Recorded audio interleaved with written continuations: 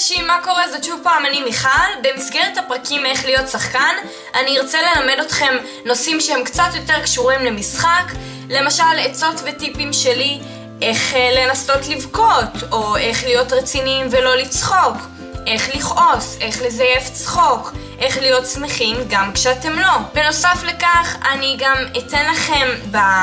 קופסת מידע מתחת לסרטון הזה כל מיני קטעי משחק שאני כתבתי או שאולי לקחתי מאתרים וכמובן שאני אכתוב קרדיט שתוכלו לתרגל את זה לנסות לשחק את זה, אם אתם לא נמצאים בחוג או שאם אתם אה, כן נמצאים בחוג אז אתם יכולים אקסטרה, זה סתם בשביל הכיף, אה, לראות איך אתם במשחק או סתם לשחק, כי מן הסתם אם אתם רוצים להיות שחקנים זה אומר שאתם אוהבים לשחק. אז מתחת לכל סרטון שאני עומדת לשים בכל שאר הסרטונים, אני בעצם אשים לכם בקופסת מידע למטה קטע משחק שאתם יכולים לשחק בעצמכם.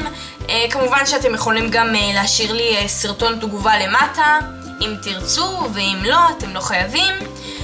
אני מקווה שיהיה לכם יום טוב, אתם יכולים להירשם לערוץ, לרשום לי תגובות, בקשות, מה שבא לכם, מענות, לא יודעת מה.